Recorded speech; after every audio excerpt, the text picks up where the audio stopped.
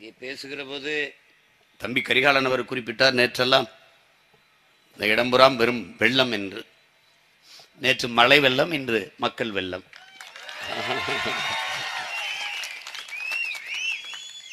இரண்டுமே நமக்கு மகிழ்ச்சிகரமானதுதான். அரவிந்தனும் என் தம்பி மகேந்திரனும் பேசும்போது எவ்வளவு இடையூறுகள் இந்த கூட்டம் நடக்குமா என்று தெரியவில்லை. ரொம்ப சிக்கல் ரொம்ப பிரச்சனை என்றெல்லாம் சொன்னார்கள். என் அன்பு தம்பிகளே அலையில்லாத கடலால் நல்ல மாலுமியை உருவாக்க முடியாது. தடை இல்லை என்றால் படைக்கு மதிப்பில்லை. இடையூறுகளும் அடக்குமுறையும் ஒடுக்குமுறையும் இல்லை என்றால் ஒரு நல்ல தலைவன் உருவாவது முடியாது. வழி இல்லை என்றால் வழி இல்லை. புண்பட்டால் தான் பண்படுவோம். அதனால் யார் உன்னை கண்டு அஞ்சுகிறார்கள்? எவன் உன்னை கண்டு இடையூறு தருகிறான் நெருக்கடி தருகிறான் அவன் உன்னை கண்டு பயப்படுகிறான் என்ற அர்த்தம். உண்மைதான். உண்மை அதுதான் எப்பவுமே காந்தி நமக்கு என்ன கற்பிக்கிறார்? முதல்ல உன்னை வந்து புறந்தள்ளுவான் நிராகரிப்பான். இவன்லாம் ஒரு ஆளா? அப்புறம் ரொம்ப பண்ணுறாங்களான்னு கொஞ்சம் விமர்சிப்பான். அப்புறம் சண்டை போட வருவான். அப்போ நீ ஜெயிச்சிருவாங்கிறான். இப்போ சண்டை போட வந்துட்டான். முதல்ல புறந்தள்ளி பார்த்தான். சீமான்லாம் ஒரு ஆளாயா அப்படின்னா. இப்போ அவன் பார்க்கும்போது நம்ம மட்டும்தான் ஒரு ஆளாக தெரியுது அவனுக்கு. ஏதோ பிரச்சனை. அப்புறம் வந்து விமர்சனம். எல்லாற்றுக்கு எல்லாவற்றுக்குமே நமது முன்னவர்கள் நமக்கு தத்துவங்களை தந்திருக்கிறார்கள் வழிகாட்டி இருக்கிறார்கள் குறிப்பாக நம்ம உயிர் தலைவர் மேதகவி பிரபாகரன் அவர்கள் என்னிடத்தில் தனிப்பட்ட முறையில் சொன்னது. அவர் மீது வைக்கிற இயக்கத்தின் மீது வைக்கிற விமர்சனங்களை நான் ஒரு சிறுவனா தம்பியாக எடுத்து சொல்லும்போது அவர் அமைதியாக கேட்டு ஒரே ஒரு வார்த்தை தான் விமர்சனம் என்பது வெறும் சொற்கள் தானப்பா. நம்மை காயப்படுத்தும் கற்கள் இல்லையே. முடிஞ்சு போச்சு. அடுத்த வார்த்தை. வைரக்கல்லை விட்டு எரிந்தார்கள் என்றால் எடுப்போம். வெறுங்கல்லை விட்டு எரிந்தார்கள் என்றால் தடுப்போம். தட்ஸ் ஆல் யுவர் ஆனர் அவ்வளவுதான். இவ்வளவுதான் இது அவ்வளவுதான் அதுக்கு முக்கியத்துவம் கொடுக்கணும். அது அவர் அவர் தம்பி அவருடைய பிள்ளை நான் என்ன சொல்றேன்னா விமர்சனத்தை தாங்காதவன் விரும்பியதை அடைய முடியாது. அவதுரை அலட்சியம் செய்ய இயலாதவன் அற்ப வெற்றியை கூட தொட முடியும். ஏற்காமல் விளையாட முடியாது. விமர்சனம் இல்லாது வளர முடியாது.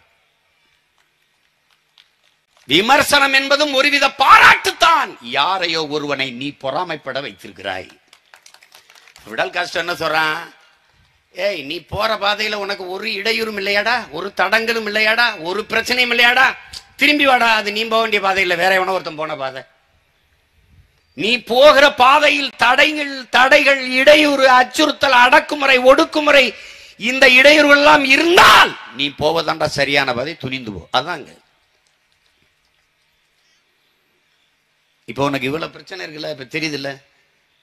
நீ இதே வேற கட்சியில் சேர்ந்தீங்கன்னா மகராசனா நடத்திக்கம்பா. ஏன்னா நாம் தமிழர் கட்சியில் சேர்ற. இந்த கட்சி ஆட்சிக்கு வந்தா அந்த கட்சி வீட்டில் ரைடு அந்த கட்சி ஆட்சிக்கு வந்தா இந்த கட்சி வீட்டில் ரைடு இந்த கட்சி ஆட்சிக்கு வந்தா ரெண்டு பேர் வீட்லயும் ரைடு. தட்ஸ் வராங்க நான் என் தம்பி அரவிந்தன் மகேந்திரன் எல்லார்ட்டையும் சொல்லுவேன் கட்சியில் இணைய போற பிள்ளைகள் எங்க ஐயா மாரிம் தலையில வர வழக்கறிஞர்கள் எல்லாருக்கும் நான் சொல்றேன். நீங்கள் நாம் தமிழர் கட்சியில இணையல நாம் தமிழர் கட்சியில இணையல நாம் எல்லாம் இணைந்து தமிழ் பேரினத்திற்கென்று ஒரு அரசியல் கட்சியை உருவாக்குகிறோம். நீங்க அண்ணனோட இணையறேன்னு நினைக்காதீங்க. நான் தான் உங்களோட இணைகிறேன்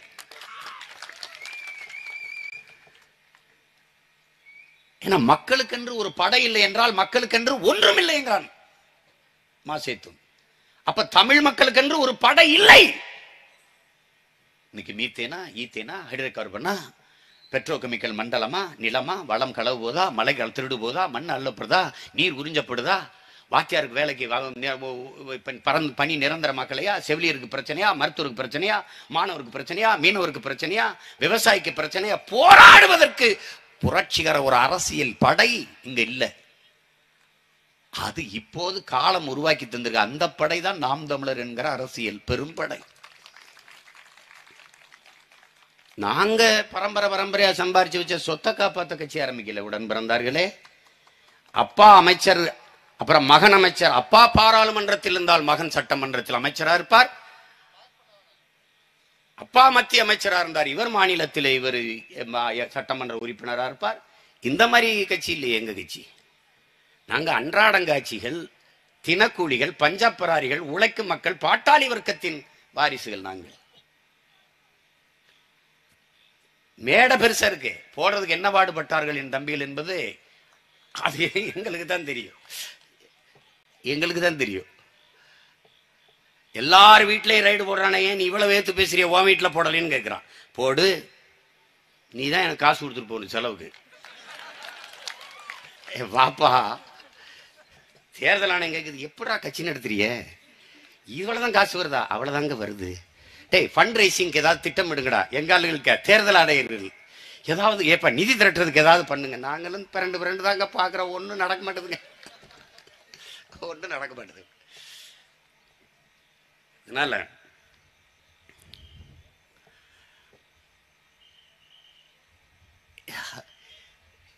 கரம்பயம் மண்ணுங்கிறது அதாவது சிற்றூர்களில் நம்ம கூட்டம் நடத்தலைங்கிற நடத்தணும். ஆனால் இன்னைக்கு இணைப்பு விழா அப்படின்னு ஒன்று நாங்கள் இதுவரை நடத்தினதில்லை. கட்சியில் பல லட்சக்கணக்கான மக்கள் இணைந்து நாங்கள் ஒரு படையாக உருவானாலும் இணைக்கிறது இல்லை எண்ணிக்கையும் சொல்கிறதில்ல எங்கள் எங்க எவனாவது ரெண்டு பேர் பேச்சு ரெண்டாயிரம் பேர் இணைஞ்சான்மா? டே நம்ம கட்சியில அந்த கிராமத்தில் ரெண்டாயிரம் பேர் இருந்தாங்களடா இல்லைண்ணா இந்த ரெண்டு பேருண்ணே அவன் ரெண்டு பேர் போனதுக்கு இப்படி ரெண்டாயிரம் பேர் அப்படி பேசுறது நான் விரும்புறதில்ல. மாற்று இயக்கத்திலிருந்து வந்தாலும் அதை வெளியில சொல்றது இல்லை சேர்ந்துட்டீங்களா வேலையை பாருங்க அவ்வளவுதான். அதுல எங்களுக்கு எந்த பெருமையும் இல்லை. நாங்கள் வரலாற்றின் வழிவந்த பிள்ளைகள். அப்ப வரலாற்றின் பாதையில் பயணிக்கும் போது நாங்கள் வாழ்ந்தது எங்கே வீழ்ந்தது எங்கே? அதை ஆழ்ந்து தெளிந்து யோசிக்கும் போது எங்களுக்கு தெளிவு இருக்குது. எங்களை பிரித்து பிளந்து சிதைத்து அழித்தது யார்? அதிகாரமற்ற அடிமை மக்களாக எங்களை தாய் நிலத்திலே நிறுத்தியது யார்? என் சொந்த நிலத்திலே நான் அடிமைப்பட்டு கிடக்க காரணம் என்ன? அதிமுக திமுக அல்லது?